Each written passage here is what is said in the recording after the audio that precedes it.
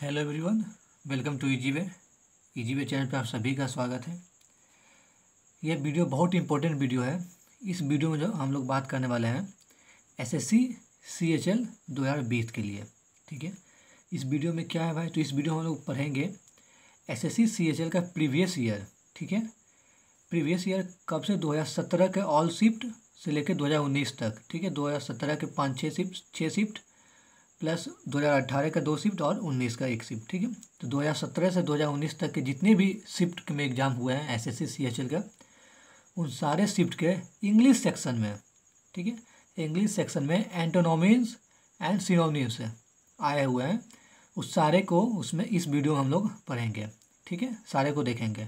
2017 से 2019 तक all shift जितने भी शिफ्ट हुए हैं, सभी शिफ्ट में इंग्लिश सेक्शन में एंटोनोमीज और सिनोमनीस जितने भी आए हुए हैं, लगभग तीस हैं, वो सारे को इस वीडियो में हम लोग देखेंगे, ठीक है?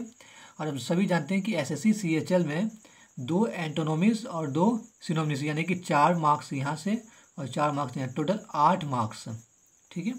टोटल आठ नंबर के क्वेश्चन पचास में से आठ नंबर का क्वेश्चन सिर्फ़ आपको सिनोमिस और एंटोनोमिस से आती है, ठीक है? तो चलिए, वीडियो को शुरू करते हैं। तो ये पूरा एकदम बहुत इंपॉर्टेंट वीडियो है, ठीक है? और बहुत अच्छे तरीके से, बहुत एकदम मेहनत करके, बहुत एकदम लाजवाब तरीके से वीडियो को लाएँ आपके लिए। प्रीवियस ईयर 2017 से 2018 तक सारे एंटोनॉमिक्स इसमें आपको यहाँ पे मिल जाएगा, ठीक है? तो पहला जो वर्ड है, वो है इंटरेस्ट ठीक है? इंटरेस्ट का मतलब होता है सोपना, ठीक है? इंटरेस्ट इसका जो इंग्लिश मीनिंग की बात करें तो हैंड ओवर गिव्स एसाइन ठीक है? इसका सिरमनिस की बात करें तो इसका होगा गिव्स हो जाएगा रिच ठीक है? गिव मतलब होता देना, सौंपना का मतलब देना। कॉमेड ठीक है? इंटरेस्ट टर्न ओवर ठीक है? इसका एंटोनोमिस की बात करें तो एंटोनोमिस का हो जाएगा बोरो डीने विड्रॉ विड्रॉ का मतलब क्या होता है? निकालना। सौंपना, किसी चीज़ को हम दे रहे हैं, सौंप रहे हैं उसके ऊपर। विड्रॉ का मतलब उससे हम ले रहे हैं, निकाल रहे हैं, ठीक है? विड्रॉ टेक टेक मतलब भी होता है लेना स्ट्रेव ठीक है? अगला जो वर्ड है वो है प्रिस्ट प्रिस्टाइज अगला जो वर्ड है वो क्या है? प्रिस्टाइज ठीक है? इसका हिंदी मीनिंग क्या होता है? हिंदी मीनिंग इसका होता है प्रतिष्ठा। इसका मतलब हिंदी में इसका क्या मतलब होता है? प्रतिष्ठा, ठीक है? तो इसका सिनोमनीस क्या होगी? स्टेटस भैया हाँ भाई बता, तेरा स्टेटस क्या है? ठीक है? स्टैंडिंग तुम्हारा क्या स्टैंडिंग है? ठीक है? क्या तुम्हारा? ठीक है? रिपुटेशन तुम्हारा क्या रिपुटेशन है? मतलब तुम्हारा क्या व्यक्तित्व है? क्या स्टेटस है? ठीक है? तुम्हारा क्या अभी सिचुएशन है। ये हो गया स्टैंडिंग कहाँ पे तुम स्टैंड करते हो? तो ये इसका हो गया सिनोमिस अब इसका हम लोग बात करते हैं एंटोनोमिस की, ठीक है? तो एंटोनोमिस की बात करें तो disrespect insignificance unimportant lowliness ठीक है? ये सारा इसका क्या होगा? प्रिस्टाइज का क्या हो गया? एंटोनोमिस ठीक है? डिसरिस्पेक्ट मतलब आदान पूर्वक ठीक है? हाँ भाई कोई इज़्ज़त नहीं देना इनसिग्निफिकेंस जिसका कोई वैल्यू नहीं है, जिसका कोई महत्व नहीं है, ठीक है? अन इम्पोर्टेंट्स जो अनमहत्वपूर्ण इसका कोई महत्वपूर्ण नहीं है, ठीक है? तीसरा जो वर्ड है, उस वर्ड वर्ड का नाम है हम्बल हम्बेल ठीक है? इसका हिंदी मीनिंग क्या होता है? बिनती बिनती करना, ठीक है? बिनती।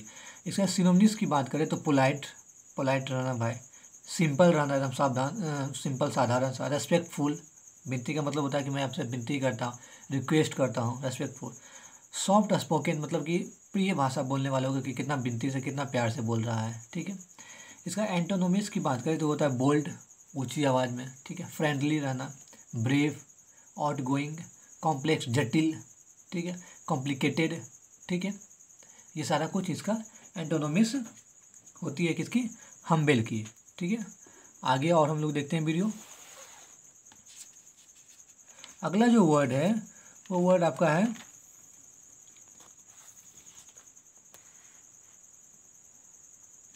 ये ग्रम्बेल ठीक है? इसका मतलब होता है बरबराना। और या तो उसको भुन भुनाना भी कह देते हैं। देखते हैं, मन में कुछ बरबरा कोई इंसान बर्बाद, बरबराता है या भुन भुनाता है मतलब कि जब ज़ोर से नहीं बोल पाता है या किसी तो उसको भुन भुनाना स्टार्ट कर देता है और बरबराना, ठीक है? इसका सिनोमनिस की बात करें तो क्रैप, मूद फ़र्स्ट ग्रिप, ग्रॉन, ठीक है? एंटोनोमिस की बात करें तो कम्प्लीमेंट पेरिस, ठीक है? अगला जो वर्ड है, वो है मिरी। मिरी, मीरी एम ई आर ई ठीक है?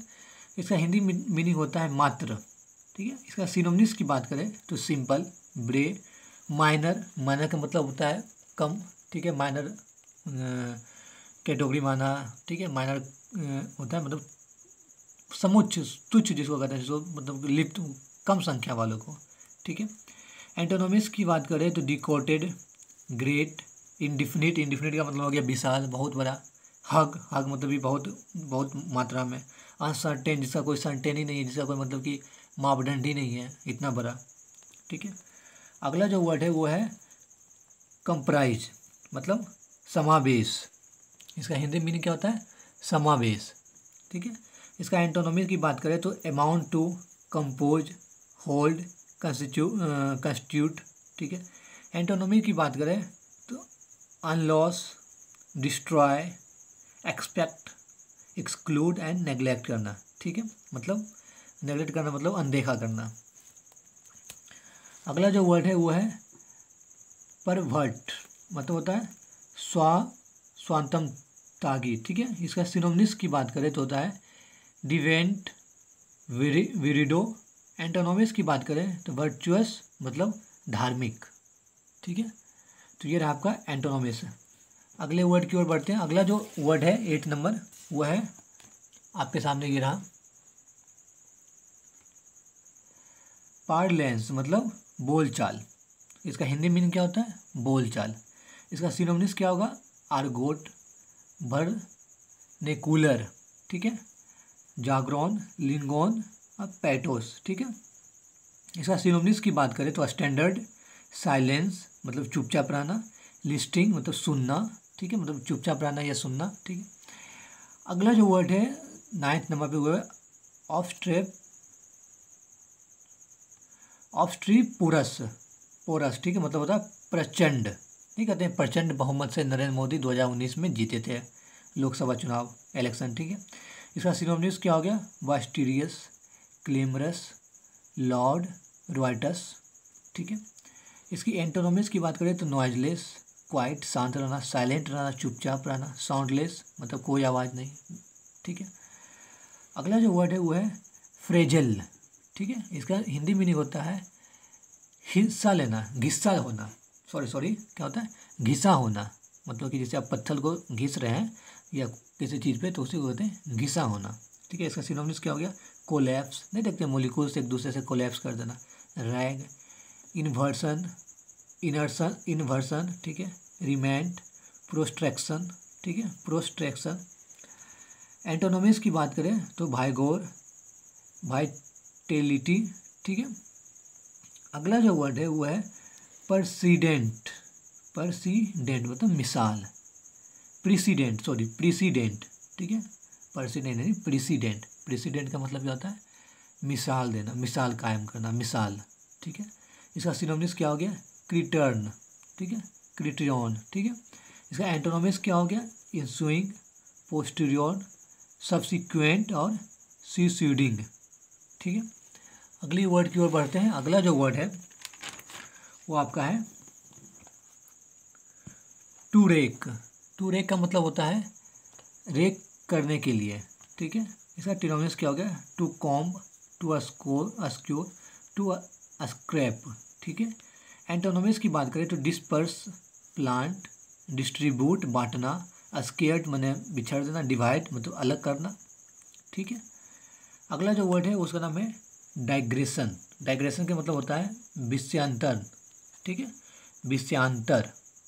डाइग्रेशन का क्या मतलब होता है?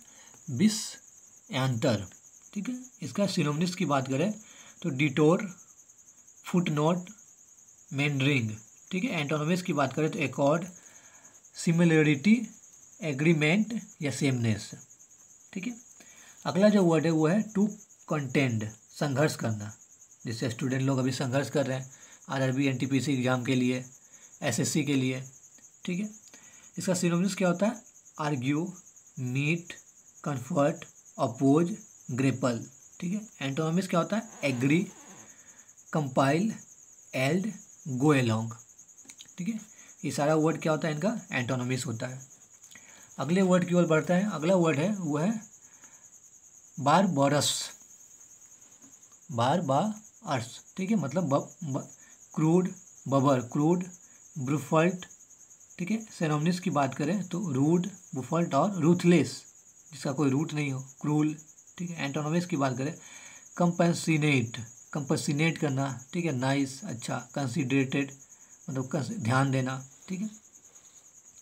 अगला जो वर्ड है, वो है पिटोगेटिव पी गोरेटिव पी गोरेटिव मतलब अपमानजनक डिरोगेटिव डिरोगेटरी ठीक है? इसका सिनोमनिस की बात करें तो डिरोगेटरी डिराइजिव डिस्पेयरिंग ठीक है? एंटोनोमिस की बात करें तो कम्प्लीमेंट्री कम्प्लीमेंट्री होता है पॉजिटिव होता है पेरेसिंग होगी। ठीक है? अगला जो वर्ड है वो है डेसीमेट डेसीमेट का मतलब होता है बर्बाद करना। तुमने मुझे डिसीमेट कर दिया। तुमने मुझे बर्बाद कर दिया। ठीक है, इसका सिनोमनिस क्या होगा?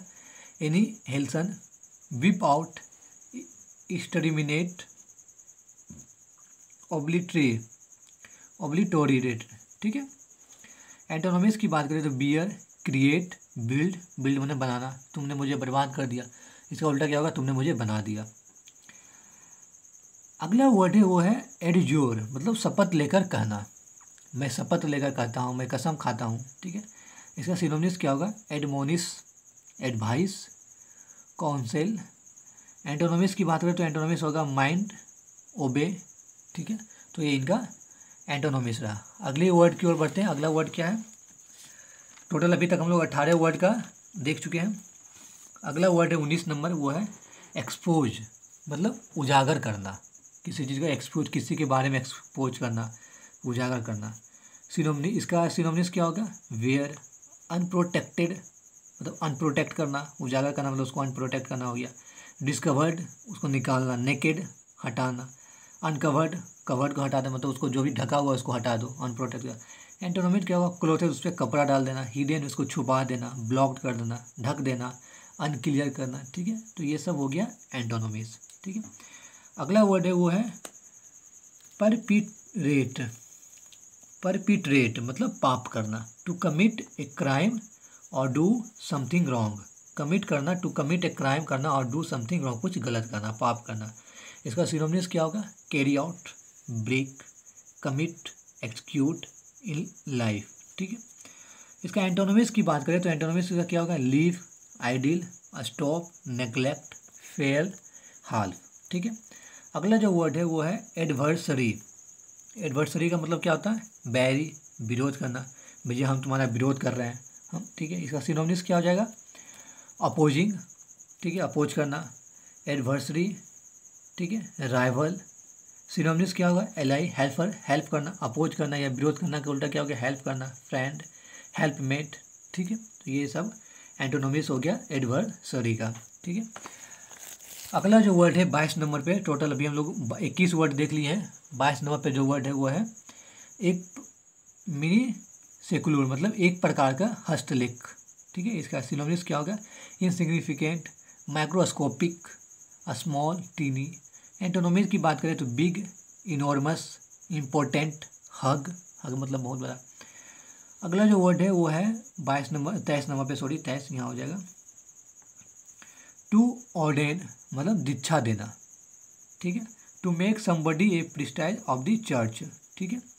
इसका सिनोमनिस क्या हो गया टू इलेक्ट टू अपॉइंट ठीक है? नोमिनेट एंटोनोमिस की बात करें तो इग्नोर नेगलेक्ट करना रिफ्यूज करना, ठीक है? नेगलेक्ट करना मतलब कि नज़रअंदाज करना रिफ्यूज करना मतलब ठीक है? अगला जो वर्ड है, चौबीस अगला जो वर्ड है वो है, चौबीस वर्ड है वो है टू अस्टैंडर्ड स्ट्रेंडेड मतलब असहाय, संकटग्रस्त help in a place that you can not get away from ठीक है? इसका इंग्लिश मीनिंग हुआ। इसका सिनोमनिस की बात करें ए ground S horse helpless helpless मतलब असहाय, ठीक है? एंटोनोमिस की बात करें तो फाउंडेड ठीक है? मतलब सहायता प्राप्त करना। अगला जो वर्ड है, वो है टू कंप्रोमाइज पच्चीस नंबर वर्ड है वो क्या? टू कंप्रोमाइज समावेश, शामिल करना। ठीक है? इसका सिनोमिस क्या हो गया? अमाउंट टू फ्रॉम ठीक है? कंपोज होल्ड कंस्टिट्यूट इन्वॉल्व ठीक है?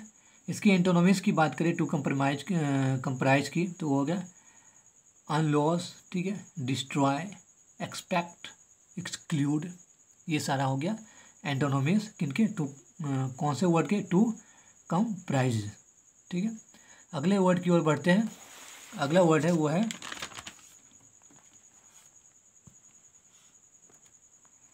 एलिगेंटली ठीक है? एलिगेंटली का मतलब होता है सुंदर ढंग से। ठीक है? इसका सिनोमनीस क्या हो गया? ओरेंट डिलीकेट पॉलिश्ड पॉलिश करना सुंदर ढंग से, जूते को पॉलिश करना ठीक है?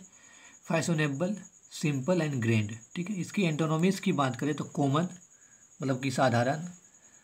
अनफैशनेबल ठीक है? डल मतलब बेकार। यूनी इम्प्रेसिव ठीक है? अगला जो वर्ड है वो है परफ्लिक्सिटी मतलब विकलता। इसका सिनोमिस क्या हो गया? पजलमेंट एंटोनोमिस क्या हो गया? हारमोनी ठीक है? अगला जो वर्ड है वो है सबसाइड सबसाइडी मतलब अनुवृत्ति, ठीक है?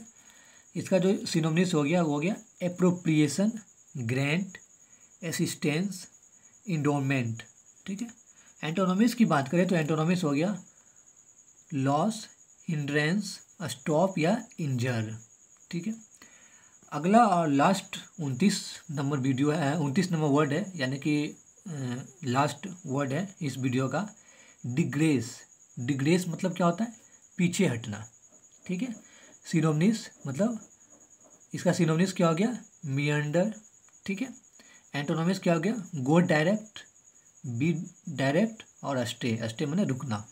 ठीक है? पीछे हटना का, आगे क्या हो गया? उल्टा क्या हो जाएगा? गो आगे बढ़ना गो डायरेक्ट बी डायरेक्ट या स्टे रुकना, ठीक है?